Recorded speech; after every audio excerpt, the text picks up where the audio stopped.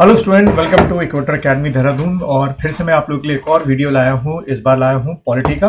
यानी कि जो आपका सिलेबस है, उसमें आर ओ का जो सिलेबस है, उसमें जो आपकी पॉलिटी है, वो आपको किस ढंग से और किन किताबों से पढ़नी चाहिए, उसके बारे में इस वीडियो में हम लोग डिस्कस करेंगे। तो इस वीडियो को लास्ट तक देखें और मेरे चैनल को सब्सक्राइब करें और इस वीडियो को अपने दोस्तों के साथ शेयर करें।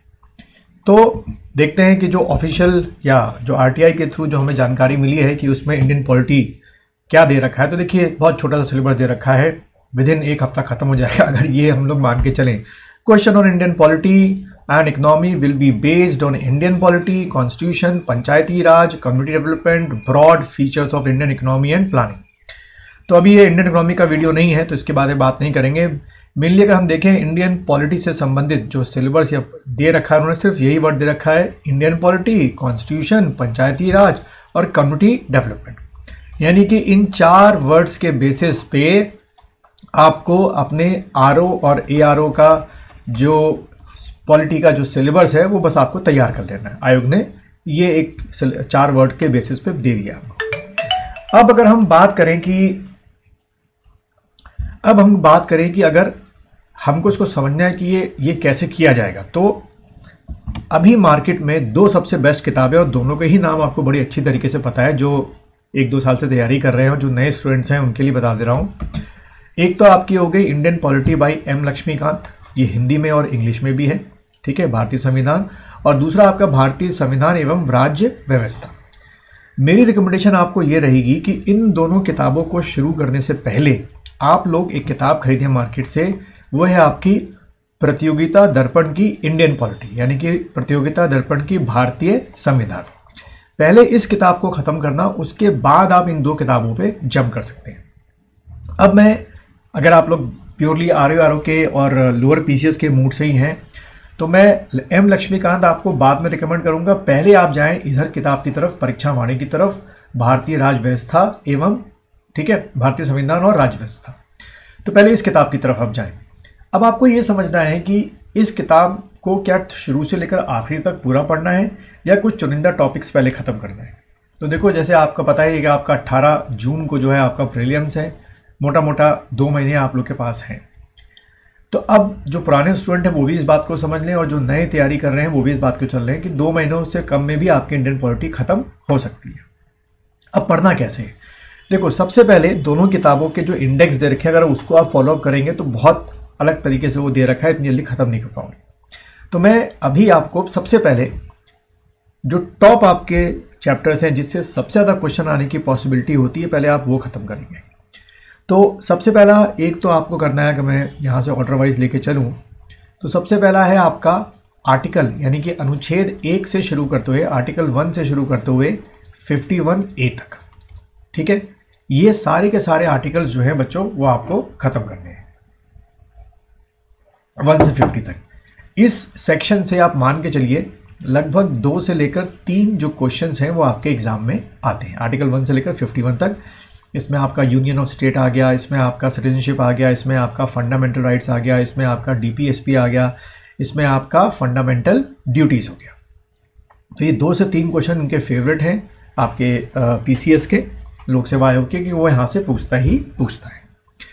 उसके बाद दूसरा जो चैप्टर आप ख़त्म करेंगे वो लेंगे आप क्या? पार्लियामेंट यानी कि जिसको हम लोग हिंदी में क्या बोलते हैं? संसद बोलते हैं। ठीक है?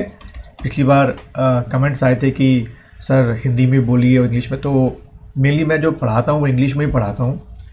लेकिन मैं कोशिश कर रहा हूँ कि हिंदी वाले जो बच्चे हैं, वो भी मेरी बात को समझें।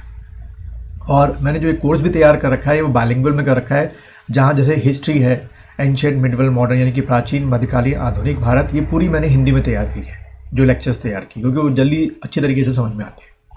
और डेटा भी बड़ा अच्छा मिल जाता है। खैर, वापस आते हैं। तो पार्लियामेंट में क्या क्या भाई? पार्लियामेंट में आप लोग लोकसभा, राज्यसभा और किसके? राष्ट्रपति, यानी कि लोकसभा, राज्यसभा और प्रेसिडेंट के बारे में पढ़ेंगे। जितने आर्टिकल्स हैं, जितने इनके काम है, सारी चीज़ें। लगभग मान के चलना दो से तीन क्वेश्चन दोबारा यहाँ से आने की पूरी पॉसिबिलिटी है। इसी तरीके से तीसरा जो आप लोग चैप्टर लेंगे, वो लेंगे स्टेट लेजिस्लेचर ठीक है?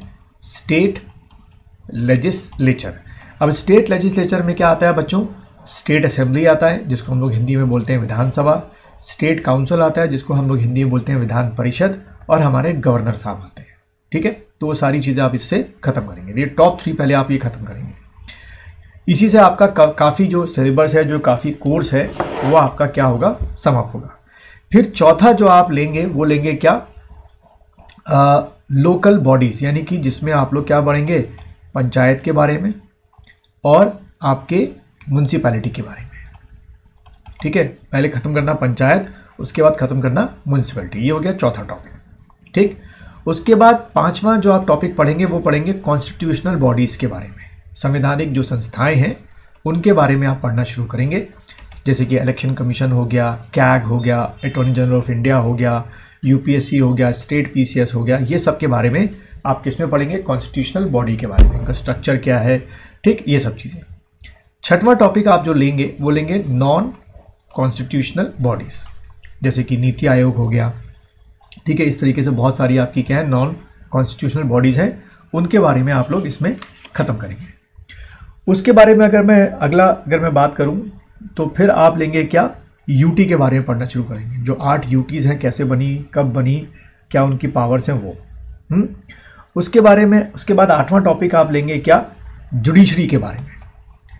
यानी कि जुडिशरी का सेंस हो गया आपका भारतीय न्याय पालिका के बारे में, इसमें सुप्रीम कोर्ट, हाई कोर्ट पूरा डिटेल आपको ख़त्म करना है। ठीक है?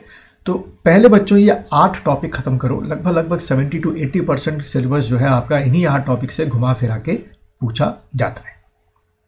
अगर आपको ये वीडियो पसंद आया है, फिर से वही शेयर कीजिए लाइक कीजिए और मेरे चैनल को सब्सक्राइब कीजिए और 18 जून को दिमाग में रखते हुए जितना दिन भर में आप पढ़ सकते हैं। देखो, मैं फिर से बोलूँगा, अपना टारगेट रोज़ का बनाओ, कि रोज़ आपको लगभग लगभग अगर आप जॉब करते हैं तो सुबह के तीन घंटे निकालिए, शाम के या रात के तीन घंटे निकालिए छः घंटे पढ़ने पढ़ने हैं, और आप प्योरली स्टूडेंट हैं, सिर्फ़ इसी इसी के लिए तैयारी कर रहे हैं तो मैं यही बोलूँगा कि लगभग लगभग पंद्रह सोलह घंटे पढ़ो। पंद्रह सोलह घंटे का मतलब क्या हो गया कि लगातार टेबल में बैठ के नहीं पढ़ सकते हो लगातार जैसे एक घंटा पढ़ा पंद्रह मिनट, बीस मिनट रेस्ट किया, फिर कोई एक घंटा दूसरा पेपर उठाया, पंद्रह, बीस मिनट रेस्ट किया।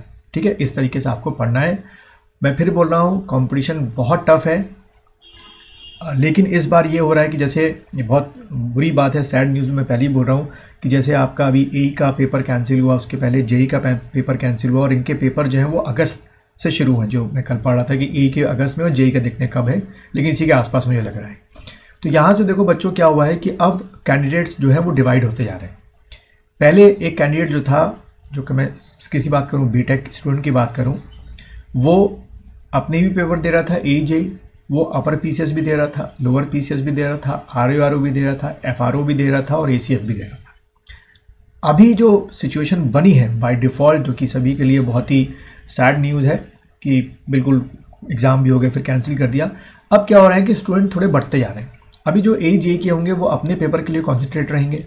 जो आपके अपर पीसीएस के लिए वो आर आर को नहीं छुएँगे, क्योंकि अपर पी का एक अलग लेवल चल रहा होता है, क्योंकि सुनने में है पूरा अखबारों के थ्रू कि अपर पीसीएस का लेवल यूपीएससी के बराबर हो गया तो उनका एक अलग एक ग्रुप बनता जाएगा।